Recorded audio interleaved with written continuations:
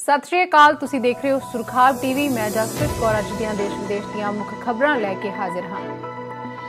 ਜਿੱਥੇ ਪੰਜਾਬ ਦੇ ਵਿੱਚ ਕਰੋਨਾ ਵਾਇਰਸ ਦਾ ਕਹਿਰ ਲਗਾਤਾਰ ਜਾਰੀ ਹੈ, ਉੱਥੇ ਹੀ ਇੱਕ ਰਾਹਤ ਭਰੀ ਖਬਰ ਵੀ ਸਾਹਮਣੇ ਆਈ ਹੈ। ਸ਼੍ਰੀ ਹਰਮੰਦਰ ਸਾਹਿਬ ਦੇ ਸਾਬਕਾ ਹਜ਼ੂਰੀ ਰਾਗੀ ਤੇ ਪਦਮ ਸ਼੍ਰੀ ਮਰਹੂਮ ਭਾਈ ਨਿਰਮਲ ਸਿੰਘ ਖਾਲਸਾ ਜੀ ਦੀ ਧੀ ਨੇ ਕਰੋਨਾ ਵਾਇਰਸ ਨੂੰ ਹਰਾ ਕੇ ਕਰੋਨਾ ਦੀ ਜੰਗ ਜਿੱਤ ਲਈ ਹੈ। ਭਾਈ ਖਾਲਸਾ ਦੀ ਧੀ ਦੀ ਕਰੋਨਾ ਰਿਪੋਰਟ ਅੱਜ 네ਗੇਟਿਵ ਆਈ ਸੀ, ਜਿਸ ਤੇ ਉਹਨਾਂ ਨੂੰ ਤੰਦਰੁਸਤ ਹੋਣ ਤੇ ਸਿਵਲ ਹਸਪਤਾਲ ਜਲੰਧਰ ਤੋਂ ਛੁੱਟੀ ਮਿਲ ਗਈ ਹੈ। ਇਸ ਦੇ ਨਾਲ ਹੀ ਦੱਸ ਦਈਏ ਕਿ ਕਪੂਰਥਲਾ ਦੇ ਆਈਸੋਲੇਸ਼ਨ ਵਾਰਡ ਵਿੱਚ ਪਿਛਲੇ 16 ਦਿਨਾਂ ਤੋਂ ਦਾਖਲ ਤਬਲੀਗੀ ਜਮਾਤ ਨਾਲ ਸੰਬੰਧ ਰੱਖਣ ਵਾਲੇ ਕਰੋਨਾ ਪੋਜ਼ਿਟਿਵ ਮਰੀਜ਼, ਅਫਜ਼ਲ ਸ਼ੇਖ ਦੀ ਦੂਜੀ ਰਿਪੋਰਟ, ਜਿਹੜੀ ਹੈ ਕਰੋਨਾ ਦੀ, ਉਹ ਵੀ 네ਗੇਟਿਵ ਆਉਣ ਉਤੇ ਉਸ ਨੂੰ ਛੁੱਟੀ ਦੇ ਦਿੱਤੀ ਗਈ ਹੈ। ਮੁਹਾਲੀ ਜ਼ਿਲ੍ਹੇ ਤੋਂ ਵੱਡੀ ਰਾਹਤ ਵਾਲੀ ਖਬਰ ਆਈ ਹੈ। ਜ਼ਿਲ੍ਹੇ ਵਿੱਚ ਕੋਰੋਨਾ ਦੇ 6 ਹੋਰ ਮਰੀਜ਼ ਠੀਕ ਹੋ ਚੁੱਕੇ ਨੇ। ਉੱਤਰਾਖੰਡ ਵਿੱਚ ਸਿੱਖ ਕਿਸਾਨਾਂ ਦੀ 100 ਏਕੜ ਦੇ ਕਰੀਬ ਫਸਲ ਨੂੰ ਪ੍ਰਸ਼ਾਸਨ ਨੇ ਵੱਢ ਲਿਆ ਹੈ। ਕਿਸਾਨਾਂ ਨੇ ਇਸ ਦਾ ਵਿਰੋਧ ਵੀ ਕੀਤਾ ਸੀ, ਪਰ ਉਹਨਾਂ ਦੀ ਕੋਈ ਸੁਣਵਾਈ ਨਹੀਂ ਹੋਈ। ਜ਼ਿਕਰਯੋਗ ਹੈ ਕਿ ਉੱਤਰਾਖੰਡ ਦੀ ਖਟੀਮਾ ਤਹਿਸੀਲ ਦੇ ਪਿੰਡ ਉਲਾਣੀ ਵਿੱਚ ਸਥਾਨਕ ਅਫਸਰ ਦੋ ਕੰਬਾਈਨਾਂ ਲੈ ਕੇ ਸਿੱਖ ਕਿਸਾਨਾਂ ਦੇ ਖੇਤਾਂ ਵਿੱਚ ਆਏ ਤੇ ਉਹਨਾਂ ਦੀ 100 ਏਕੜ ਦੇ ਕਰੀਬ ਨੂੰ ਫਸਲ ਵੱਢ ਕੇ ਲੈ ਗਏ। ਉਹਨਾਂ ਦੇ ਨਾਲ ਪੁਲਿਸ ਫੋਰਸ ਵੀ ਮੌਜੂਦ ਸੀ। ਉਧਰ ਇਸ ਬਾਰੇ ਐਸਡੀਐਮ ਨਿਰਮਲਾ ਬਿਸਟ ਦਾ ਕਹਿਣਾ ਹੈ ਕਿ ਇਸ ਜ਼ਮੀਨ ਦਾ ਕਬਜ਼ਾ ਪ੍ਰਸ਼ਾਸਨ ਦੇ ਕੋਲ ਸੀ, ਪਰ ਇਸ ਦੇ ਬਾਵਜੂਦ ਵੀ ਕਿਸਾਨਾਂ ਨੇ ਉਸ ਜ਼ਮੀਨ ਉੱਤੇ ਆਪਣੀ ਫਸਲ ਉਗਾਈ, ਜਦੋਂ ਕਿ 31 ਅਕਤੂਬਰ ਨੂੰ ਕਿਸਾਨਾਂ ਨੂੰ ਨੋਟਿਸ ਵੀ ਜਾਰੀ ਕੀਤੇ ਗਏ ਸਨ। ਅਧਿਕਾਰੀ ਨੇ ਕਿਹਾ ਹੈ ਕਿ 650 ਕੁਇੰਟਲ ਕਣਕ ਦੀ ਨਿਲਾਮੀ ਕਰਕੇ ਜਿਹੜੀ ਰਕਮ ਹੈ, ਉਹ ਸਰਕਾਰੀ ਖਜ਼ਾਨੇ ਵਿੱਚ ਜਮ੍ਹਾਂ ਕਰਵਾ ਦਿੱਤੀ ਜਾਵੇਗੀ ਤੇ ਜੇਕਰ ਕਿਸਾਨ ਸੁਪਰੀਮ ਕੋਰਟ ਤੋਂ ਜਿੱਤ ਗਏ ਤਾਂ ਇਹ ਰਕਮ ਉਹਨਾਂ ਨੂੰ ਵਾਪਸ ਵੀ ਦਿੱਤੀ ਜਾ ਸਕਦੀ ਹੈ। ਇਸ ਬਾਰੇ all India Sikh Pratinidh board Uttarakhand ਦੇ ਬੁਲਾਰੇ ਸੁਖਵੰਤ ਸਿੰਘ ਭੁੱਲਰ ਨੇ ਦੱਸਿਆ ਹੈ ਕਿ ਕਿਸਾਨਾਂ ਨੇ ਸਥਾਨਕ ਤਹਿਸੀਲਦਾਰ ਦੇ ਨਾਲ ਗੱਲ ਕਰਕੇ ਹੀ ਉਕਤ ਜ਼ਮੀਨ ਉੱਤੇ ਫਸਲ ਬੀਜੀ ਸੀ, ਪਰ ਬੀਤੇ ਦਿਨਾਂ ਦੇ ਦੌਰਾਨ ਪ੍ਰਸ਼ਾਸਨ ਨੇ ਪੁਲਿਸ ਦੀ ਹਾਜ਼ਰੀ ਦੇ ਵਿੱਚ ਜਬਰੀ ਕਣਕ ਵੱਢ ਲਈ। ਉਲਾਣੀ ਪਿੰਡ ਦੇ ਦਲਜੀਤ ਸਿੰਘ ਗੁਰਾਇਆ ਮੁਤਾਬਕ ਅੰਗਰੇਜ਼ਾਂ ਵੱਲੋਂ ਅਲਾਟ ਕੀਤੀ ਗਈ। ਇਹ ਜ਼ਮੀਨ ਤਤਕਾਲੀ ਮਾਲਕਾਂ ਦੀ 1969 ਦੇ ਵਿੱਚ ਮੌਤ ਹੋ ਜਾਣ ਮਗਰੋਂ ਅੱਗੇ ਵੇਚ ਦਿੱਤੀ ਗਈ ਸੀ। ਇਸ ਜ਼ਮੀਨ ਉੱਪਰ ਕੁਝ ਕਿਸਾਨ ਵਰਗ 20 ਦੇ ਤਹਿਤ ਵੀ ਕਾਸ਼ਤ ਕਰ ਰਹੇ ਸਨ। 1972 ਦੇ ਵਿੱਚ ਸੀਲਿੰਗ ਸ਼ੁਰੂ ਹੋਈ। ਪਹਿਲਾਂ ਕਿਸਾਨ ਕਮਿਸ਼ਨਰ ਦੇ ਕੋਲੋਂ ਕੇਸ ਜਿੱਤ ਗਏ, ਪਰ ਹਾਈ ਕੋਰਟ ਦੇ ਵਿੱਚ ਕਿਸਾਨਾਂ ਕੋਲੋਂ ਕੋਈ ਵਕੀਲ ਖੜਾ ਨਾ ਕੀਤੇ ਜਾਣ ਤੇ ਉਹ ਇਹ ਕੇਸ ਹਾਰ ਗਏ। ਉਸ ਤੋਂ ਬਾਅਦ ਉਹਨਾਂ ਨੇ ਸੁਪਰੀਮ ਕੋਰਟ ਦੇ ਵਿੱਚ ਪਹੁੰਚ ਕੀਤੀ। ਸੁਪਰੀਮ ਕੋਰਟ ਦਾ ਦਰਵਾਜ਼ਾ ਖੜਕਾਇਆ। ਸਿਖਰਲੀ ਅਦਾਲਤ ਨੇ ਸਟੇਟਸ ਕੋ ਜਾਰੀ ਰੱਖ ਦਿੱਤਾ ਤੇ ਤਰੀਕ ਅੱਗੇ ਪਾ ਦਿੱਤੀ। ਪਰ ਹੁਣ ਕਰੋਨਾ ਦੇ ਚੱਲਦੇ ਅਦਾਲਤੀ ਕਾਰਵਾਈ ਠੱਪ ਪਈ ਹੋਣ ਕਰਕੇ ਕਿਸਾਨ ਸੁਪਰੀਮ ਕੋਰਟ ਵੀ ਨਾ ਪਹੁੰਚ ਸਕੇ ਤੇ ਪ੍ਰਸ਼ਾਸਨ ਨੇ ਧੱਕੇ ਨਾਲ ਪੱਕੀ ਫਸਲ ਕਿਸਾਨਾਂ ਦੀ ਵੱਢ ਲਈ। ਇਸ ਦੇ ਨਾਲ ਹੀ 6 ਦਰਜਨ ਤੋਂ ਵੱਧ ਕਿਸਾਨਾਂ ਦੇ ਖਿਲਾਫ ਧਾਰਾ 341 332 253 186 504 506 427 188 269 270 ਤੇ 271 ਦੇ ਤਹਿਤ ਕੇਸ ਵੀ ਦਰਜ ਕਰ ਲਏ ਗਏ ਨੇ। ਉਧਰ ਯੂਕੇ ਵਿੱਚ ਸੋਮਵਾਰ ਨੂੰ ਇੱਕ ਹੋਰ ਭਾਰਤੀ ਮੂਲ ਦੇ ਡਾਕਟਰ ਦੀ ਕੋਰੋਨਾ ਵਾਇਰਸ ਕਰਕੇ ਮੌਤ ਹੋ ਗਈ ਹੈ। ਡਾਕਟਰ ਦਾ ਨਾਮ ਮਨਜੀਤ ਸਿੰਘ ਰਿਆਤ ਕਰਕੇ ਦੱਸਿਆ ਜਾਂਦਾ ਹੈ ਤੇ ਮਨਜੀਤ ਸਿੰਘ ਬੀਤੇ 2 ਦਹਾਕਿਆਂ ਤੋਂ ਡਰਬੀ ਸ਼ਹਿਰ ਵਿੱਚ ਐਮਰਜੈਂਸੀ ਮੈਡੀਸਨ ਸਰਵਿਸ ਵਿੱਚ ਕੰਮ ਕਰ ਰਹੇ ਸਨ। ਉਹ ਬਰਤਾਨੀਆ ਵਿੱਚ ਇਸ ਅਹੁਦੇ ਤੇ ਕੰਮ ਕਰਨ ਵਾਲੇ ਪਹਿਲੇ ਸਿੱਖ ਸਨ। Emergency medicine consultant Manjeet Singh Rait ਦੀ ਰਾਇਲ ਡਰਬੀ ਹਸਪਤਾਲ ਵਿੱਚ ਕੋਵਿਡ-19 ਕਰਕੇ ਮੌਤ ਹੋ ਗਈ ਹੈ। ਉਹਨਾਂ ਦਾ ਡਰਬੀ ਸ਼ਹਿਰ ਦੇ ਵਿੱਚ ਡਾਕਟਰ ਤੇ ਮਰੀਜ਼ ਸਾਰੇ ਹੀ ਬਹੁਤ ਸਤਿਕਾਰ ਕਰਦੇ ਸਨ। ਰਿਆਤ ਨੇ ਆਪਣੀ ਡਾਕਟਰੀ ਪੜ੍ਹਾਈ 1992 ਵਿੱਚ ਲੈਸਟਰ ਯੂਨੀਵਰਸਿਟੀ ਤੋਂ ਕੀਤੀ ਸੀ। ਉਹ ਰਾਸ਼ਟਰੀ ਸਿਹਤ ਸੇਵਾ ਦੀ ਦੁਰਘਟਨਾ ਤੇ ਐਮਰਜੈਂਸੀ ਸੇਵਾ ਦੇ ਵਿੱਚ ਸਲਾਹਕਾਰ ਬਣਨ ਵਾਲਾ ਪਹਿਲਾ ਸਿੱਖ ਸੀ। ਉਸ ਦੇ ਹਸਪਤਾਲ ਟਰਸਟ ਨੇ ਦੱਸਿਆ ਹੈ ਕਿ ਉਹ ਡਰਬੀ ਸ਼ਹਿਰ ਵਿੱਚ ਐਮਰਜੈਂਸੀ ਡਾਕਟਰੀ ਸੇਵਾਵਾਂ ਬਣਾਉਣ ਵਿੱਚ ਅਹਿਮ ਭੂਮਿਕਾ ਨਿਭਾ ਰਿਹਾ ਸੀ। ਯੂਨੀਵਰਸਿਟੀ ਹਸਪਤਾਲ ਡਰਬੀ ਅਤੇ ਬਰਟਨ ਦੇ ਕਾਰਜਕਾਰੀ ਅਧਿਕਾਰੀ ਗੈਵਿਨ ਬੋਇਲ ਨੇ ਕਿਹਾ ਹੈ ਕਿ ਮੈਂ ਮਨਜੀਤ ਰਿਆਤ ਨੂੰ ਸ਼ਰਧਾਂਜਲੀ ਦੇਣਾ ਚਾਹੁੰਦਾ ਹਾਂ, ਜਿਨ੍ਹਾਂ ਦਾ ਅੱਜ ਦੇਹਾਂਤ ਹੋ ਗਿਆ ਹੈ। ਉਹ ਇੱਕ ਅਤਿਅੰਤ ਪ੍ਰਭਾਵਸ਼ਾਲੀ ਵਿਅਕਤੀ ਸੀ, ਜਿਸ ਨੂੰ ਹਰ ਕੋਈ ਪਿਆਰ ਕਰਦਾ ਸੀ। ਉਹ ਹਸਪਤਾਲ ਵਿੱਚ ਬਹੁਤ ਸਾਰੇ ਲੋਕਾਂ ਨੂੰ ਜਾਣਦਾ ਸੀ। ਅਸੀਂ ਸਾਰੇ ਉਸ ਨੂੰ ਬਹੁਤ ਯਾਦ ਕਰਾਂਗੇ। ਕੋਰੋਨਾ ਵਾਇਰਸ ਦੇ ਕਹਿਰ ਦੇ ਚੱਲਦਿਆਂ ਦੁਨੀਆ ਭਰ ਦੇ ਦੇਸ਼ਾਂ ਵਾਸਤੇ ਆਰਥਿਕਤਾ ਇੱਕ ਵੱਡੀ ਸਮੱਸਿਆ ਬਣ ਗਈ ਹੈ। ਜਿਸ ਦੇ ਕਰਕੇ ਹੀ ਕੋਰੋਨਾ ਵਾਇਰਸ ਦੇ ਚੱਲਦਿਆਂ ਵੀ ਦੇਸ਼ਾਂ ਦੇ ਵਿੱਚ ਲੋਕਡਾਊਨ ਖੋਲੇ ਜਾ ਰਹੇ ਨੇ। ਭਾਰਤ ਵਿੱਚ ਵੀ 20 ਅਪ੍ਰੈਲ ਨੂੰ ਕਈ ਥਾਵਾਂ ਤੇ ਕੁਝ ਖੁੱਲ ਮਿਲ ਚੁੱਕੀ ਹੈ। ਇਸ ਬਾਰੇ ਵਿਸ਼ਵ ਸਿਹਤ ਸੰਸਥਾ WHO ਨੇ ਕਿਹਾ ਹੈ ਕਿ ਇਹ ਅੱਗ ਨਾਲ ਖੇਡਣ ਵਾਂਗ ਹੈ। WHO ਨੇ ਲਾਕਡਾਊਨ ਦੇ ਵਿੱਚ ਢਿੱਲ ਦੇਣ ਵਾਲੇ ਮੁਲਕਾਂ ਨੂੰ ਚੇਤਾਵਨੀ ਦਿੱਤੀ ਹੈ ਕਿ ਅਜਿਹਾ ਕਰਨ ਦੇ ਨਾਲ ਹਾਲਾਤ ਹੋਰ ਖਤਰਨਾਕ ਹੋ ਸਕਦੇ ਨੇ।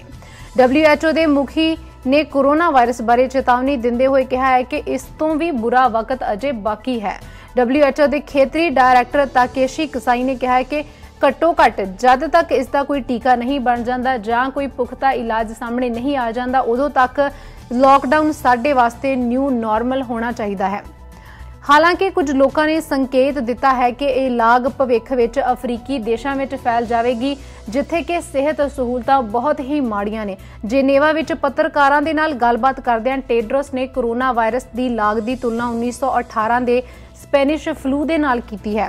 ਉਸਨੇ ਕਿਹਾ ਹੈ ਕਿ ਇਹ ਬਹੁਤ ਖਤਰਨਾਕ ਸਥਿਤੀ ਹੈ ਤੇ ਇਹ ਹੋ ਰਿਹਾ ਹੈ 1918 ਦੇ ਫਲੂ ਵਾਂਗ, ਜਿਸ ਵਿੱਚ 1 ਕਰੋੜ ਦੇ ਕਰੀਬ ਲੋਕਾਂ ਦੀ ਮੌਤ ਹੋ ਗਈ ਸੀ। ਸਾਡੇ ਤੇ ਭਰੋਸਾ ਕਰੋ, ਕਿਉਂਕਿ ਸਭ ਤੋਂ ਮਾੜਾ ਸਮਾਂ ਹਾਲੇ ਆਉਣ ਵਾਲਾ ਹੈ। ਉਹਨਾਂ ਨੇ ਕਿਹਾ ਹੈ ਕਿ ਇਸ ਵਿਪਤਾ ਨੂੰ ਰੋਕਿਆ ਜਾਣਾ ਚਾਹੀਦਾ ਹੈ। ਇਹ ਇੱਕ ਅਜਿਹਾ ਵਾਇਰਸ ਹੈ ਜਿਸ ਨੂੰ ਲੋਕ ਅਜੇ ਨਹੀਂ ਸਮਝ ਸਕਦੇ। ਉਹਨਾਂ ਨੇ ਇਹ ਵੀ ਕਿਹਾ ਹੈ ਕਿ ਸ਼ੁਰੂ ਤੋਂ ਹੀ WHO ਇਸ ਬਾਰੇ ਚੇਤਾਵਨੀ ਦਿੰਦਾ ਆਇਆ ਹੈ। ਉਸਨੇ ਕਿਹਾ ਹੈ ਕਿ ਅਸੀਂ ਪਹਿਲੇ ਦਿਨ ਤੋਂ ਹੀ ਚੇਤਾਵਨੀ ਦਿੰਦੇ ਆ ਰਹੇ ਹਾਂ ਕਿ ਇਹ ਇੱਕ ਸ਼ੈਤਾਨ ਹੈ ਤੇ ਸਾਨੂੰ ਸਾਰਿਆਂ ਨੂੰ ਮਿਲ ਕੇ ਇਸ ਉੱਤੇ ਕੰਮ ਕਰਨਾ ਚਾਹੀਦਾ ਹੈ, ਇਸ ਦੇ ਵਿਰੁੱਧ ਲੜਨਾ ਪਏਗਾ। ਕੋਵਿਡ-19 ਦੇ ਸੰਭਾਵਿਤ ਮਰੀਜ਼ਾਂ ਉੱਤੇ ਨਜ਼ਰ ਰੱਖਣ ਦੇ ਲਈ food and drugs administration commissioner Punjab Kahan Singh Pannu ਨੇ ਸੂਬੇ ਦੇ ਸਮੂਹ ਜ਼ੋਨਲ ਲਾਇਸੈਂਸਿੰਗ ਅਧਿਕਾਰੀਆਂ ਨੂੰ ਕੁਝ ਖਾਸ ਨਿਰਦੇਸ਼ ਜਾਰੀ ਕੀਤੇ ਨੇ, ਜਿਸ ਦੇ ਤਹਿਤ ਆਪਣੇ ਅਧਿਕਾਰ ਖੇਤਰ ਦੇ ਵਿੱਚ ਕੈਮਿਸਟ ਵੱਲੋਂ ਆਪਣੇ ਸਟੋਰ ਤੇ ਜਾਂ ਕਿਸੇ ਵਿਅਕਤੀ ਦੇ ਘਰ ਫਲੂ ਖੰਗ ਜਾਂ ਜ਼ੁਕਾਮ ਦੇ ਇਲਾਜ ਲਈ ਦਵਾਈਆਂ ਦੀ ਸਪਲਾਈ ਕਰਨ ਸੰਬੰਧੀ ਸਿਵਲ ਸਰਜਨ ਨੂੰ ਰਿਪੋਰਟ ਭੇਜਣ ਦੇ ਵਾਸਤੇ ਕਿਹਾ ਉਹਨਾਂ ਕਿਹਾ ਹੈ ਕਿ ਇਹ ਜਿਹੜੇ ਫਲੂ ਨੇ, ਖਾਂਸੀ ਜ਼ੁਕਾਮ ਦੇ ਇਲਾਜ ਵਾਸਤੇ ਕਿਸੇ ਵਿਅਕਤੀ ਨੂੰ ਦਵਾਈ ਦੀ ਵਿਕਰੀ ਜਾਂ ਸਪਲਾਈ ਸੰਬੰਧੀ ਜਾਣਕਾਰੀ ਲੋਕਾਂ ਦੇ ਹਿੱਤ ਵਾਸਤੇ ਬਹੁਤ ਜ਼ਰੂਰੀ ਹੋ ਸਕਦੀ ਹੈ, ਜਿਸ ਦੇ ਨਾਲ ਕਰੋਨਾ ਵਾਇਰਸ ਦੇ ਵੱਧ ਰਹੇ ਖਤਰੇ ਨੂੰ ਰੋਕਿਆ ਜਾ ਸਕਦਾ ਹੈ। ਦੱਸ ਦਈਏ ਕਿ ਇਸ ਤੋਂ ਪਹਿਲਾਂ ਚੰਡੀਗੜ੍ਹ ਦੇ ਡੀਸੀ ਮਨਦੀਪ ਸਿੰਘ ਬਰਾੜ ਨੇ ਵੀ ਮੈਡੀਕਲ ਸਟੋਰਾਂ ਦੇ ਲਈ ਕੁਝ ਖਾਸ ਗਾਈਡਲਾਈਨਸ ਜਾਰੀ ਕੀਤੀਆਂ ਸਨ ਕਿ ਕੋਈ ਵੀ ਵਿਅਕਤੀ ਜੇਕਰ ਕਿਸੇ ਮੈਡੀਕਲ ਸਟੋਰ ਤੋਂ ਖਾਂਸੀ, ਜ਼ੁਕਾਮ ਆਦਿ ਦੀ ਦਵਾਈ ਲੈਣ ਆਉਂਦਾ ਹੈ ਤਾਂ ਉਸ ਦਾ ਪ੍ਰੋਪਰ ਰਿਕਾਰਡ ਬਣਾ ਕੇ ਰੱਖਿਆ ਜਾਵੇ। ਤਾਂ ਜੋ ਕਰੋਨਾ ਦੇ ਮਰੀਜ਼ਾਂ ਨੂੰ ਲੱਭਣ ਦੇ ਵਿੱਚ, ਉਹਨਾਂ ਨੂੰ ਪਹਿਚਾਨਣ ਦੇ ਵਿੱਚ ਸੌਖ ਹੋ ਸਕੇ। ਪਰ ਹੁਣ ਪੰਜਾਬ ਦੇ ਸਮੂਹ ਮੈਡੀਕਲਾਂ ਨੂੰ ਵੀ ਇਸ ਗੱਲ ਦਾ, ਇਸ ਨਿਰਦੇਸ਼ ਦਾ ਪਾਲਣਾ ਕਰਨਾ ਪਵੇਗਾ, ਇਸ ਉਤੇ ਖਿਆਲ ਰੱਖਣਾ ਪਏਗਾ ਭਾਰਤ ਸਮੇਤ ਦੁਨੀਆ ਭਰ ਦੇ ਵਿੱਚ ਕਰੋਨਾ ਵਾਇਰਸ ਦਾ ਨਾ ਤਾਂ ਹਾਲੇ ਕੋਈ ਇਲਾਜ ਲੱਭਿਆ ਹੈ ਤੇ ਨਾ ਹੀ ਕੋਈ ਵੈਕਸੀਨ ਸਾਹਮਣੇ ਆਈ ਹੈ। ਇਸ ਦੌਰਾਨ ਪਲਾਜ਼ਮਾ ਥੈਰੇਪੀ ਨਾਲ ਇਸ ਮਹਾਮਾਰੀ ਨੂੰ ਹਰਾਉਣ ਦੀ ਇੱਕ ਉਮੀਦ ਜ਼ਰੂਰ ਜਾਗੀ ਹੈ। ਦੇਸ਼ ਵਿੱਚ ਪਲਾਜ਼ਮਾ ਥੈਰੇਪੀ ਦੇ ਨਾਲ ਕਰੋਨਾ ਵਾਇਰਸ ਦਾ ਪਹਿਲਾ ਇਲਾਜ ਸਫਲ ਰਿਹਾ ਹੈ। ਦਿੱਲੀ ਦੇ ਪ੍ਰਾਈਵੇਟ ਹਸਪਤਾਲ ਵਿੱਚ ਇਸ ਥੈਰੇਪੀ ਦੇ ਨਾਲ 49 ਸਾਲਾ ਇੱਕ ਵਿਅਕਤੀ ਦਾ ਇਲਾਜ ਕੀਤਾ ਗਿਆ ਸੀ, ਜੋ ਕਿ ਸਫਲ ਰਿਹਾ ਹੈ। ਮਰੀਜ਼ ਦੀ ਇਸ ਥੈਰੇਪੀ ਤੋਂ ਬਾਅਦ ਹਾਲਤ ਦੇ ਵਿੱਚ ਸੁਧਾਰ ਹੋ ਰਿਹਾ ਹੈ। 4 ਦਿਨ ਵਿੱਚ ਮਰੀਜ਼ ਦੀ ਹਾਲਤ ਸੁਧਰ ਜਾਣ ਦੇ ਨਾਲ ਡਾਕਟਰ ਬਹੁਤ ਉਤਸ਼ਾਹਿਤ ਹਨ। ਮੀਡੀਆ ਰਿਪੋਰਟਾਂ ਦੇ ਅਨੁਸਾਰ ਮੈਕਸ ਹਸਪਤਾਲ ਵਿੱਚ ਸੋਮਵਾਰ ਨੂੰ ਮਰੀਜ਼ ਨੂੰ ਵੈਂਟੀਲੇਟਰ ਤੋਂ ਹਟਾ ਦਿੱਤਾ ਗਿਆ ਸੀ, ਜਿਸ ਤੋਂ ਬਾਅਦ ਮਰੀਜ਼ ਦੀ ਹਾਲਤ ਦੇ ਵਿੱਚ ਕਾਫੀ ਸੁਧਾਰ ਦੱਸਿਆ ਜਾ ਰਿਹਾ ਹੈ। ਇੱਕੋ ਪਰਿਵਾਰ ਦੇ ਬਹੁਤ ਸਾਰੇ ਲੋਕਾਂ ਦੇ ਕਰੋਨਾ ਪੋਜ਼ਿਟਿਵ ਹੋਣ ਤੋਂ ਬਾਅਦ ਹਸਪਤਾਲ ਵਿੱਚ ਉਹਨਾਂ ਨੂੰ ਦਾਖਲ ਕਰਵਾਇਆ ਗਿਆ ਸੀ, ਜਿਨ੍ਹਾਂ ਦੇ ਵਿੱਚੋਂ ਦੋ ਮਰੀਜ਼ ਵੈਂਟੀਲੇਟਰ ਉੱਤੇ ਸਨ। ਉਹਨਾਂ ਦੇ ਵਿੱਚੋਂ ਇੱਕ ਦੀ ਮੌਤ ਹੋ ਗਈ ਸੀ ਤੇ ਦੂਜੇ ਉੱਤੇ ਪਲਾਜ਼ਮਾ ਥੈਰੇਪੀ ਟੈਸਟ ਕੀਤਾ ਗਿਆ ਸੀ। ਡਾਕਟਰਾਂ ਦੇ ਅਨੁਸਾਰ ਇੱਕ ਵਿਅਕਤੀ ਦੇ ਖੂਨ ਵਿੱਚੋਂ ਵੱਧ ਤੋਂ ਵੱਧ 800 ਮਿਲੀਲੀਟਰ ਪਲਾਜ਼ਮਾ ਲਿਆ ਜਾ ਸਕਦਾ ਹੈ। ਕੋਰੋਨਾ ਮਰੀਜ਼ ਦੇ ਸਰੀਰ ਵਿੱਚ ਐਂਟੀਬਾਡੀਜ਼ ਪਾਉਣ ਲਈ 200 ਮਿਲੀਲੀਟਰ ਪਲਾਜ਼ਮਾ ਚੜਾਇਆ ਜਾਂਦਾ ਹੈ। ਮੈਕਸ ਹਸਪਤਾਲ ਦੇ ਡਾਇਰੈਕਟਰ ਸੰਦੀਪ ਬੁੱਧੀ ਰਾਜਾ ਨੇ ਕਿਹਾ ਹੈ ਕਿ ਪਲਾਜ਼ਮਾ ਤਕਨੀਕ ਇਲਾਜ ਵਿੱਚ ਕਾਫੀ ਕਾਰਗਰ ਸਾਬਤ ਹੋਈ ਹੈ। ਖੂਨ ਦੇਣ ਵਾਲਾ ਮਰੀਜ਼ 3 ਹਫ਼ਤੇ ਪਹਿਲਾਂ ਪੂਰੀ ਤਰ੍ਹਾਂ ਠੀਕ ਹੋ ਚੁੱਕਾ ਸੀ। ਕੋਰੋਨਾ ਵਾਇਰਸ ਦੇ ਮੱਦੇਨਜ਼ਰ 3 ਮਈ ਤੱਕ ਦੇਸ਼ ਭਰ ਵਿੱਚ ਲਾਕਡਾਊਨ ਜਾਰੀ ਹੈ।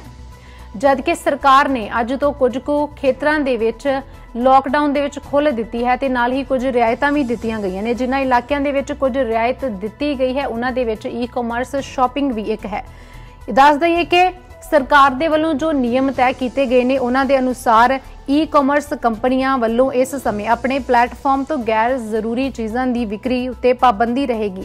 ਹੁਣ ਤੁਸੀਂ ਉਹਨਾਂ ਚੀਜ਼ਾਂ ਨੂੰ ਹੀ ਆਨਲਾਈਨ ਖਰੀਦ ਸਕੋਗੇ ਜਿਨ੍ਹਾਂ ਦੀ ਤੁਹਾਨੂੰ ਜ਼ਰੂਰਤ ਹੈ। ਇਸ ਦਾ ਸਿੱਧਾ ਮਤਲਬ ਹੈ ਕਿ ਤੁਸੀਂ ਈ-ਕਾਮਰਸ ਕੰਪਨੀਆਂ ਜਿਵੇਂ ਕਿ Amazon, Snapdeal, Flipkart ਤੋਂ ਗੈਰ ਜ਼ਰੂਰੀ ਚੀਜ਼ਾਂ ਤੋਂ ਬਿਨਾ ਅਹਿਮ ਚੀਜ਼ਾਂ ਜ਼ਰੂਰ ਮੰਗਵਾ ਸਕਦੇ ਹੋ। ਤੁਸੀਂ ਕਈ ਖਾਣ ਪੀਣ ਦੀਆਂ ਚੀਜ਼ਾਂ ਆਨਲਾਈਨ ਆਰਡਰ ਕਰ ਸਕਦੇ ਹੋ ਜਿਵੇਂ ਕਿ ਹੈਲਥ ਡਰਿੰਕਸ ਕੁਕਿੰਗ, ਬੇਕਿੰਗ, ਨਾਸ਼ਤੇ ਦਾ ਸਮਾਨ, ਡਰਾਈ ਫਰੂਟਸ, ਮਠਿਆਈਆਂ ਤੇ ਸਨੈਕਸ, ਸਿਹਤਮੰਦ ਭੋਜਨ। ਇਸ ਸਮੇਂ ਸਭ ਤੋਂ ਅਹਿਮ ਹੈ, ਚੰਗੀ ਸਿਹਤ। ਇਸ ਕਰਕੇ ਸਰਕਾਰੀ ਨਿਯਮਾਂ ਦੇ ਮੁਤਾਬਕ ਤੁਸੀਂ ਡਾਕਟਰੀ ਦੇ ਨਾਲ ਸੰਬੰਧਿਤ ਚੀਜ਼ਾਂ ਜਿਵੇਂ ਕਿ mask, sanitiser, hand wash, blood pressure monitor nebuliser thermometer ਜਿਹਾ ਸਮਾਨ ਵੀ ਮੰਗਵਾ ਸਕਦੇ ਹੋ। ਇਸ ਤੋਂ ਇਲਾਵਾ ਨਿੱਜੀ ਸਫ਼ਾਈ ਦੀਆਂ ਚੀਜ਼ਾਂ ਜਿਵੇਂ ਕਿ ਔਰਲ ਕੇਅਰ ਪਰਸਨਲ ਸਫ਼ਾਈ ਸਕਿਨ ਅਤੇ 헤ਅਰ ਕੇਅਰ ਸ਼ੇਵ ਕਰਨ ਵਾਲੀਆਂ ਚੀਜ਼ਾਂ ਦਾ ਵੀ ਆਰਡਰ ਕੀਤਾ ਜਾ ਸਕਦਾ ਹੈ। ਇਸ ਤੋਂ ਇਲਾਵਾ ਤੁਸੀਂ ਡਾਈਪਰ ਫੀਡਿੰਗ ਅਤੇ ਨਰਸਿੰਗ ਸਿਹਤ ਦਾ ਸਮਾਨ ਵੀ ਪ੍ਰਾਪਤ ਕਰ ਸਕਦੇ ਹੋ। ਤੁਸੀਂ ਪਾਲਤੂ ਜਾਨਵਰ ਦੇ ਨਾਲ ਸੰਬੰਧਿਤ ਸਮਾਨ, ਸਫ਼ਾਈ ਵਾਲੀਆਂ ਚੀਜ਼ਾਂ ਜਿਵੇਂ ਕਿ ਜਾਨਵਰਾਂ ਦਾ ਭੋਜਨ ਡਿਟਰਜੈਂਟ ਡਿਸ਼ ਕਲੀਨਰ ਰਸੋਈ ਕਲੀਨਰ ਸਕਰਬ 에ਅਰ ਫਰੈਸ਼ਰ ਵੀ ਮੰਗਵਾ ਸਕਦੇ ਹੋ। ਘਰ ਦੀਆਂ ਸਭ ਅਹਿਮ ਚੀਜ਼ਾਂ ਜਿਵੇਂ ਕਿ ਆਟਾ, ਦਾਲਾਂ ਜਾਂ ਖਾਣ ਪੀਣ ਦੀਆਂ ਵਸਤਾਂ ਨਾਲ ਸੰਬੰਧਿਤ ਚੀਜ਼ਾਂ ਤੇਲ ਆਦਿ ਵੀ ਖਰੀਦ ਸਕਦੇ ਹੋ। ਉੱਤਰ ਕੋਰੀਆ ਦੇ ਸੁਪਰੀਮ ਲੀਡਰ ਕਿਮ ਜੋਂਗ ਉਨ ਦੀ ਪਿਛਲੇ ਦਿਨੀ ਦਿਲ ਦੀ ਸਰਜਰੀ ਹੋਈ ਜੋ ਕਿ ਸਫਲ ਨਹੀਂ ਹੋਈ। ਉਹਨਾਂ ਦੀ ਹਾਲਾਤ ਹੁਣ ਵੀ ਕਾਫੀ ਖਰਾਬ ਦੱਸੀ ਜਾ ਰਹੀ ਹੈ। ਅਮਰੀਕੀ ਖੂਫੀਆ ਏਜੰਸੀਆਂ ਦੇ ਮੁਤਾਬਕ ਕਿਮ ਜੋਂਗ ਉਨ ਦੇ ਦਿਲ ਦੀ ਜੋ ਸਰਜਰੀ ਹੋਈ ਸੀ, ਉਹ ਸਫਲ ਨਹੀਂ ਹੋਈ। ਉਹਨਾਂ ਦੀ ਹਾਲਤ ਅਜੇ ਵੀ ਕਾਫੀ ਗੰਭੀਰ ਹੈ ਤੇ ਉਹਨਾਂ ਦੀ ਮੌਤ ਦੀ ਸ਼ੰਕਾ ਵੀ ਜਤਾਈ ਜਾ ਰਹੀ ਹੈ। ਕਿਮ ਜੋਂਗ ਉਨ ਨੇ ਹਾਲ ਹੀ ਦੇਸ਼ ਵਿੱਚ ਨੈਸ਼ਨਲ ਹੌਲੀਡੇ ਦੇ ਪ੍ਰੋਗਰਾਮ ਵਿੱਚ ਹਿੱਸਾ ਨਹੀਂ ਲਿਆ, ਜਿਸ ਤੋਂ ਬਾਅਦ ਉਹਨਾਂ ਦੇ ਬਿਮਾਰ ਹੋਣ ਦੇ ਕਿਆਸ ਲਗਾਏ ਜਾ ਰਹੇ ਨੇ। 15 ਅਪ੍ਰੈਲ ਨੂੰ ਕਿਮ ਜੋਂਗ ਦੇ ਦਾਦੇ ਤੇ ਦੇਸ਼ ਦੇ ਨਿਰਮਾਤਾ ਕਹੇ ਜਾਣ ਵਾਲੇ ਕਿਮ ਇਲ ਸੁੰਗ ਦੀ ਜਯੰਤੀ ਹੁੰਦੀ ਹੈ ਤੇ ਨਾਰਥ ਕੋਰੀਆ ਇਸ ਨੂੰ ਨੈਸ਼ਨਲ ਹੌਲੀਡੇ ਦੇ ਨਾਮ ਤੇ ਮਨਾਉਂਦਾ ਹੈ। CNN ਮੁਤਾਬਕ ਕਿਮ ਜੋਂਗ ਦੀ ਸਿਹਤ ਬਾਰੇ ਉੱਤਰ ਕੋਰੀਆ ਦੇ ਮੀਡੀਆ ਵਿੱਚ ਅਜੇ ਤੱਕ ਕੁਝ ਵੀ ਅਜਿਹਾ ਪ੍ਰਕਾਸ਼ਿਤ ਨਹੀਂ ਹੋਇਆ। ਇਸ ਦਾ ਕਾਰਨ ਇਹ ਹੈ ਕਿ ਉੱਥੋਂ ਦਾ ਮੀਡੀਆ ਸਰਕਾਰ ਦੀ ਮਰਜ਼ੀ ਤੋਂ ਬਿਨਾ ਕੁਝ ਵੀ ਬਾਹਰ ਨਹੀਂ ਆਉਣ ਦਿੰਦਾ। ਮੀਡੀਆ ਪੂਰੀ ਤਰ੍ਹਾਂ ਨਾਲ ਸਰਕਾਰ ਦੇ ਕਬਜ਼ੇ ਵਿੱਚ ਹੈ। ਇਹੀ ਕਾਰਨ ਹੈ ਕਿ ਇਥੋਂ ਜਲਦੀ ਜਾਣਕਾਰੀ ਪ੍ਰਾਪਤ ਕਰਨਾ ਬਹੁਤ ਹੀ ਮੁਸ਼ਕਿਲ ਹੁੰਦਾ ਹੈ। ਦੱਸਿਆ ਜਾ ਰਿਹਾ ਹੈ ਕਿ ਕਿਮ ਜੋਂਗ ਉਨ ਨੂੰ ਆਖਰੀ ਵਾਰ 11 ਅਪ੍ਰੈਲ ਨੂੰ ਜਨਤਕ ਤੌਰ ਉਤੇ ਵੇਖਿਆ ਗਿਆ ਸੀ, ਜਿਸ ਵਿੱਚ ਉਸਨੇ ਇੱਕ ਮੀਟਿੰਗ ਦੀ ਪ੍ਰਧਾਨਗੀ ਕੀਤੀ ਤੇ ਕਰੋਨਾ ਵਾਇਰਸ ਸੰਬੰਧੀ ਸਖਤ ਜਾਂਚ ਦੇ ਆਦੇਸ਼ ਦਿੱਤੇ। ਇਨਾ ਹੀ ਨਹੀਂ, ਉਹ 14 ਅਪ੍ਰੈਲ ਨੂੰ ਮਿਜ਼ਾਈਲ ਟੈਸਟਿੰਗ ਦੇ ਪ੍ਰੋਗਰਾਮ ਦੇ ਵਿੱਚ ਵੀ ਉਹਨਾਂ ਨੇ ਹਿੱਸਾ ਨਹੀਂ ਲਿਆ। ਉੱਥੇ ਵੀ ਉਹ ਗੈਰ ਹਾਜ਼ਰ ਰਹੇ। ਦੱਸ ਦਈਏ ਕਿ 2011 ਦੇ ਅਖੀਰ ਵਿੱਚ ਉਸਦੇ ਪਿਤਾ ਤੇ ਮਰਹੂਮ ਨੇਤਾ ਕਿਮ ਜੋਂਗ ਆਇਲ ਦੀ ਮੌਤ ਤੋਂ ਬਾਅਦ ਕਿਮ ਜੋਂਗ ਉਨ ਉੱਤਰ ਕੋਰੀਆ ਦੀ ਸੱਤਾ ਉੱਤੇ ਕਬਜ਼ਾ ਕਰ ਲਿਆ ਸੀ। ਪੂਰੀ ਦੁਨੀਆ ਦੇ ਵਿੱਚ ਕਹਿਰ ਮਚਾ ਰਿਹਾ। ਕੋਰੋਨਾ ਵਾਇਰਸ, ਜਿਸ ਦੀ ਸਭ ਤੋਂ ਜ਼ਿਆਦਾ ਤਬਾਹੀ ਅਮਰੀਕਾ ਦੇ ਵਿੱਚ ਮਚੀ ਹੋਈ ਹੈ। ਅਮਰੀਕਾ ਵਿੱਚ ਹੁਣ ਤੱਕ 792913 ਲੋਕ ਇਸ ਦੀ ਲਾਗਤ ਦੀ ਚਪੇਟ ਵਿੱਚ ਆਏ ਹੋਏ ਨੇ, ਜਿਨ੍ਹਾਂ ਵਿੱਚੋਂ 42517 ਲੋਕਾਂ ਦੀ ਮੌਤ ਹੋ ਚੁੱਕੀ ਹੈ। ਹੁਣ ਤੱਕ ਇੱਥੇ ਇਲਾਜ ਤੋਂ ਬਾਅਦ 72399 ਲੋਕ ਠੀਕ ਵੀ ਹੋਏ ਨੇ। ਇਸੇ ਵਿਚਕਾਰ ਅਮਰੀਕਾ ਦੇ ਵਿਗਿਆਨੀਆਂ ਨੇ ਚੇਤਾਵਨੀ ਦਿੱਤੀ ਹੈ ਕਿ ਆਉਣ ਵਾਲੇ ਕੁਝ ਮਹੀਨਿਆਂ ਦੇ ਵਿੱਚ ਉਥੋਂ ਦੇ ਹਾਲਾਤ ਹੋਰ ਜ਼ਿਆਦਾ ਖਰਾਬ ਹੋਣ ਵਾਲੇ ਨੇ। ਮਾਹਰਾਂ ਦਾ ਕਹਿਣਾ ਹੈ ਕਿ ਜੇਕਰ ਨਿਤ ਦਿਨ ਹੋਣ ਵਾਲੇ ਮੌਤਾਂ ਦੇ ਅੰਕੜੇ ਨੂੰ ਨਾ ਕਾਬੂ ਦੇ ਵਿੱਚ ਕੀਤਾ ਗਿਆ ਤਾਂ ਸਤੰਬਰ ਤੱਕ 20 ਲੱਖ ਤੋਂ ਵੱਧ ਮੌਤਾਂ ਹੋਣ ਦੇ ਕਿਆਸ ਲਗਾਏ ਜਾ ਰਹੇ ਨੇ। ਦੱਸਣਯੋਗ ਹੈ ਕਿ ਇਸ ਵੇਲੇ ਅਮਰੀਕਾ ਦੇ ਵਿੱਚ ਪ੍ਰਤੀ ਦਿਨ 1800 ਸੰਕਰਮਿਤ ਮਰੀਜ਼ਾਂ ਦੀ ਮੌਤ ਹੋ ਰਹੀ ਹੈ। ਮਾਹਰ ਕਹਿੰਦੇ ਨੇ ਕਿ ਟਰੰਪ ਆਪਣੀ ਹਰ ਪ੍ਰੈਸ ਬਰੀਫਿੰਗ ਦੇ ਵਿੱਚ ਲੋਕਾਂ ਨੂੰ ਇਹ ਭਰੋਸਾ ਦਿਵਾ ਰਹੇ ਨੇ ਕਿ ਸਭ ਕੁਝ ਜਲਦੀ ਹੀ ਆਮ ਹੋ ਜਾਵੇਗਾ। ਲੋਕਡਾਊਨ ਦੇਸ਼ ਦੇ ਵਿੱਚੋਂ ਜਲਦੀ ਖਤਮ ਕਰ ਦਿੱਤਾ ਜਾਵੇਗਾ। ਹਰ ਵਿਅਕਤੀ ਦੇ ਹੱਥ ਵਿੱਚ ਇਸ ਦਾ ਇਲਾਜ ਹੋਵੇਗਾ। ਰੈਸਟੋਰੈਂਟਸ ਫੁੱਟਬਾਲ ਸਟੇਡੀਅਮ ਸਭ ਆਮ ਦੇ ਵਾਂਗ ਖੁੱਲ ਜਾਣਗੇ। ਅਜੋਕੇ ਹਾਲਾਤਾਂ ਦੇ ਅਨੁਸਾਰ ਇਹ ਸਿਰਫ ਇੱਕ ਕਲਪਨਾ ਤੋਂ ਇਲਾਵਾ ਹੋਰ ਕੁਝ ਨਹੀਂ ਹੈ। ਬ੍ਰਿਟੇਨ ਦੇ ਇੰਪੀਰੀਅਲ ਕਾਲਜ ਲੰਡਨ ਦੇ ਖੋਜਕਰਤਾਵਾਂ ਦੇ ਅਨੁਸਾਰ ਦੂਜੇ ਵਿਸ਼ਵ ਯੁੱਧ ਵਿੱਚ ਮਾਰੇ ਗਏ 4.20 ਲੱਖ ਅਮਰੀਕੀਆਂ ਦੀ ਤੁਲਨਾ ਵਿੱਚ ਸਤੰਬਰ ਤੱਕ ਅਮਰੀਕਾ ਵਿੱਚ ਤਕਰੀਬਨ 22 ਲੱਖ ਦੇ ਮੌਤਾਂ ਹੋ ਸਕਦੀਆਂ ਨੇ। ਦੁਨੀਆ ਭਰ ਵਿੱਚ ਕਰੋਨਾ ਸੰਕਰਮਿਤ ਲੋਕਾਂ ਦੀ ਗਿਣਤੀ 24 ਲੱਖ 99546 ਤੱਕ ਪਹੁੰਚ ਗਈ ਹੈ। ਇਸ ਮਾਰੂ ਮਹਾਮਾਰੀ ਦੇ ਕਾਰਨ ਹੁਣ ਤੱਕ 1 ਲੱਖ 71338 ਲੋਕਾਂ ਦੀ ਮੌਤ ਵੀ ਹੋ ਚੁੱਕੀ ਹੈ। ਵੈਬਸਾਈਟ ਵਰਲਡੋਮੀਟਰ ਦੇ ਅਨੁਸਾਰ ਸੰਯੁਕਤ ਰਾਜ ਵਿੱਚ 792938 ਤੇ ਸਪੇਨ ਵਿੱਚ 2 ਲੱਖ ਤੋਂ ਵੱਧ, ਇਟਲੀ ਵਿੱਚ 181000 ਦੇ ਕਰੀਬ ਫਰਾਂਸ ਵਿੱਚ 155383 ਮਾਮਲੇ ਸਾਹਮਣੇ ਆਏ ਨੇ। ਉਥੇ ਹੀ ਅਮਰੀਕਾ ਦੇ ਵਿੱਚ 42518 ਸਪੇਨ ਵਿੱਚ 21282 ਇਟਲੀ ਵਿੱਚ 24114 ਫਰਾਂਸ ਵਿੱਚ 20265 ਤੇ ਚੀਨ ਵਿੱਚ 4632 ਮੌਤਾਂ ਹੁਣ ਤੱਕ ਹੋ ਚੁੱਕੀਆਂ ਨੇ। ਅਮਰੀਕਾ, ਇਟਲੀ ਤੇ ਸਪੇਨ ਤੋਂ ਬਾਅਦ ਫਰਾਂਸ ਚੌਥਾ ਦੇਸ਼ ਬਣ ਗਿਆ ਹੈ, ਜਿੱਥੇ ਕਿ ਹੁਣ ਤੱਕ 20000 ਤੋਂ ਜ਼ਿਆਦਾ ਲੋਕ ਆਪਣੀਆਂ ਜਾਨਾਂ ਕਰੋਨਾ ਵਾਇਰਸ ਦਾ ਕਰਕੇ ਗਵਾ ਚੁੱਕੇ ਨੇ। ਇੱਕ ਚੋਟੀ ਦੇ ਫ੍ਰੈਂਚ ਸਿਹਤ ਅਧਿਕਾਰੀ ਜੇਰੋਮ ਸਲੋਮੋ ਨੇ ਇਹ ਵੀ ਕਿਹਾ ਹੈ ਕਿ ਦੇਸ਼ ਵਿੱਚ ਹੁਣ ਤੱਕ ਕੋਵਿਡ-19 ਦੇ 20265 ਮਰੀਜ਼ਾਂ ਦੀ ਮੌਤ ਹੋ ਚੁੱਕੀ ਹੈ। ਹਾਲਾਂਕਿ ਜੇਰੋਮ ਨੇ ਹਸਪਤਾਲਾਂ ਵਿੱਚ ਆਉਣ ਵਾਲੇ ਮਰੀਜ਼ਾਂ ਦੀ ਗਿਣਤੀ ਤੇ ਸਖਤ ਨਿਗਰਾਨੀ ਸੇਵਾਵਾਂ ਵਿੱਚ ਆਈ ਕਮੀ ਤੇ ਖੁਸ਼ੀ ਜ਼ਾਹਰ ਕੀਤੀ ਹੈ। ਅਤੇ ਅਜਿਹੀ ਸਥਿਤੀ ਵਿੱਚ ਸੋਮਵਾਰ ਨੂੰ ਇਹ ਅੰਕੜਾ 7148 ਤੋਂ ਹੇਠਾਂ ਆ ਗਿਆ ਹੈ। ਇਸ ਮਹਾਮਾਰੀ ਨਾਲ ਅਮਰੀਕਾ ਹੁਣ ਤੱਕ ਸਭ ਤੋਂ ਪ੍ਰਭਾਵਿਤ ਦੇਸ਼ ਹੈ। ਅਮਰੀਕਾ ਦੇ ਵਿੱਚ ਮਰਨ ਵਾਲਿਆਂ ਦੀ ਗਿਣਤੀ 42000 ਦੇ ਕਰੀਬ ਹੈ ਤੇ ਘੱਟ ਤੋਂ ਘੱਟ ਉੱਥੇ 72000 ਦੇ ਕਰੀਬ ਮਰੀਜ਼ ਸਿਹਤਮੰਦ ਵੀ ਹੋਏ ਨੇ। ਦੁਨੀਆ ਭਰ ਵਿੱਚ ਕੋਰੋਨਾ ਵਾਇਰਸ ਦੀ ਇਨਫੈਕਸ਼ਨ ਦਾ ਖਤਰਾ ਤੇਜ਼ੀ ਨਾਲ ਵਧ ਰਿਹਾ ਹੈ। ਇਸ ਦੇ ਨਾਲ ਹੀ ਚੀਨ ਦੀ ਸਰਕਾਰ ਤੇ ਵੁਹਾਨ ਦੇ ਇੰਸਟੀਚਿਊਟ ਆਫ ਵਾਇਰੋਲੋਜੀ ਉਤੇ ਸਵਾਲ ਖੜੇ ਹੋਣੇ ਵੀ ਤੇਜ਼ ਹੋ ਗਏ ਨੇ। ਕਈ ਲੋਕ ਇਸ ਥਿਊਰੀ ਦੇ ਵਿੱਚ ਇਹ ਅਸਲੀਅਤ ਦੱਸ ਰਹੇ ਨੇ ਕਿ ਵਾਇਰਸ ਵੁਹਾਨ ਦੀ ਲੈਬ ਤੋਂ ਹੀ ਲੀਕ ਹੋ ਕੇ ਦੁਨੀਆ ਭਰ ਦੇ ਵਿੱਚ ਫੈਲਿਆ ਹੈ। ਅਮਰੀਕਾ ਵੀ ਲੈਬ ਨੂੰ ਲੈ ਕੇ ਜਾਂਚ ਦੀ ਗੱਲ ਕਹਿ ਚੁੱਕਾ ਹੈ। ਉੱਥੇ ਹੀ ਹੁਣ ਕੁਝ ਤਸਵੀਰਾਂ ਦੇ ਆਧਾਰ ਉਤੇ ਦਾਵਾ ਕੀਤਾ ਜਾ ਰਿਹਾ ਹੈ ਕਿ ਵੁਹਾਨ ਦੇ ਇੰਸਟੀਚਿਊਟ ਆਫ ਵਾਇਰੋਲੋਜੀ ਦੀ ਫਰਿੱਜ ਦੀ ਇੱਕ ਸੀਲ ਟੁੱਟੀ ਸੀ, ਜਿਸ ਵਿੱਚ ਹਜ਼ਾਰਾਂ ਦੀ ਗਿਣਤੀ ਦੇ ਵਿੱਚ ਵਾਇਰਸ ਮੌਜੂਦ ਸਨ। ਅਸਲ ਵਿੱਚ ਵੁਹਾਨ ਦੇ ਇੰਸਟੀਚਿਊਟ ਆਫ ਵਾਇਰੋਲੋਜੀ ਦੀਆਂ ਇਹ ਤਸਵੀਰਾਂ ਪਹਿਲੀ ਵਾਰ 2018 ਵਿੱਚ ਚਾਈਨਾ ਡੇਲੀ ਨਿਊਜ਼ਪੇਪਰ ਨੇ ਟਵਿੱਟਰ ਉਤੇ ਪ੍ਰਕਾਸ਼ਿਤ ਕੀਤੀਆਂ ਸਨ, ਪਰ ਬਾਅਦ ਵਿੱਚ ਇਸ ਟਵੀਟ ਨੂੰ ਡਿਲੀਟ ਕਰ ਦਿੱਤਾ ਗਿਆ ਸੀ। ਇਸ ਹਫ਼ਤੇ ਇਹ ਫੋਟੋਜ਼ ਸੋਸ਼ਲ ਮੀਡੀਆ ਉਤੇ ਮੁੜ ਤੋਂ ਵਾਇਰਲ ਹੋ ਰਹੀਆਂ ਨੇ। ਡੇਲੀ ਮੇਲ ਦੀ ਰਿਪੋਰਟ ਮੁਤਾਬਕ ਚਾਈਨਾ ਡੇਲੀ ਅਖਬਾਰ ਨੇ ਲੈਬ ਦੀਆਂ ਤਸਵੀਰਾਂ ਦੇ ਨਾਲ ਲਿਖਿਆ ਸੀ ਕਿ ਏਸ਼ੀਆ ਤੇ ਏਸ਼ੀਆ ਦੇ ਸਭ ਤੋਂ ਵੱਡੇ ਵਾਇਰਸ ਬੈਂਕ ਉਤੇ ਇੱਕ ਨਜ਼ਰ। ਮੱਧ ਚੀਨ ਦੇ ਹੁਬੇਈ ਸਥਿਤ ਵੁਹਾਨ ਇੰਸਟੀਚਿਊਟ ਆਫ ਵਾਇਰੋਲੋਜੀ ਨੇ 1500 ਤੋਂ ਵਧੇਰੇ ਵਾਇਰਸ ਨੂੰ ਇੱਥੇ ਸੁਰੱਖਿਅਤ ਕਰਕੇ ਰੱਖਿਆ ਹੈ। ਦੱਸ ਦਈਏ ਕਿ ਮੀਡੀਆ ਵਿੱਚ ਵੁਹਾਨ ਦੀ ਲੈਬ ਉਤੇ ਸਵਾਲ ਚੁੱਕੇ ਜਾਣ ਤੋਂ ਬਾਅਦ ਅਮਰੀਕੀ ਰਾਸ਼ਟਰਪਤੀ ਡੋਨਲਡ ਟਰੰਪ ਨੇ ਵੀ ਕਿਹਾ ਹੈ ਕਿ ਅਸੀਂ ਇਸ ਉਤੇ ਜਾਂਚ ਕਰਾਂਗੇ। ਟਰੰਪ ਨੇ ਸ਼ੁੱਕਰਵਾਰ ਨੂੰ ਇਹ ਵੀ ਕਿਹਾ ਸੀ ਕਿ ਉਹ ਅਮਰੀਕਾ ਵੱਲੋਂ ਵੁਹਾਨ ਇੰਸਟੀਚਿਊਟ ਨੂੰ ਦਿੱਤੇ ਜਾਣ ਵਾਲੇ ਫੰਡ ਨੂੰ ਖਤਮ ਕਰ ਦੇਣਗੇ। ਉੱਥੇ ਹੀ ਅਮਰੀਕਾ ਦੇ ਵਿਦੇਸ਼ ਮੰਤਰੀ ਮਾਈਕ ਪੋਂਪੀਓ ਨੇ ਕਿਹਾ ਹੈ ਕਿ ਲੈਬ ਤੋਂ ਵਾਇਰਸ ਲੀਕ ਹੋਣ ਦੇ ਮੁੱਦੇ ਉੱਤੇ ਬੀਜਿੰਗ ਨੂੰ ਸਾਫ਼-ਸਾਫ਼ ਦੱਸ ਦੇਣਾ ਚਾਹੀਦਾ ਸੀ। ਵਾਸ਼ਿੰਗਟਨ ਪੋਸਟ ਨੇ ਇੱਕ ਰਿਪੋਰਟ ਵਿੱਚ ਕਿਹਾ ਸੀ ਕਿ ਅਮਰੀਕੀ ਡਿਪਲੋਮੈਟਾਂ ਨੇ 2018 ਵਿੱਚ ਇੱਕ ਰਿਪੋਰਟ, ਇੱਕ ਜਾਣਕਾਰੀ ਭੇਜੀ ਸੀ, ਜਿਸ ਵਿੱਚ ਇਸ ਗੱਲ ਦਾ ਜ਼ਿਕਰ ਕੀਤਾ ਗਿਆ ਸੀ ਕਿ ਵੁਹਾਨ ਦੀ ਲੈਬ ਦੇ ਵਿੱਚ ਚਮਗਿੱਦੜਾਂ ਵਿੱਚ ਪਾਏ ਜਾਣ ਵਾਲੇ ਵਾਇਰਸ ਉੱਤੇ ਕੰਮ ਚੱਲ ਰਿਹਾ ਸੀ। ਹਾਲਾਂਕਿ ਚੀਨ ਸਰਕਾਰ ਤੇ ਵੁਹਾਨ ਲੈਬ ਆਪਣੇ ਉੱਤੇ ਲਾਏ ਜਾ ਰਹੇ ਸਾਰੇ ਦੋਸ਼ਾਂ ਨੂੰ ਖਾਰਜ ਕਰ ਚੁੱਕੀ ਹੈ।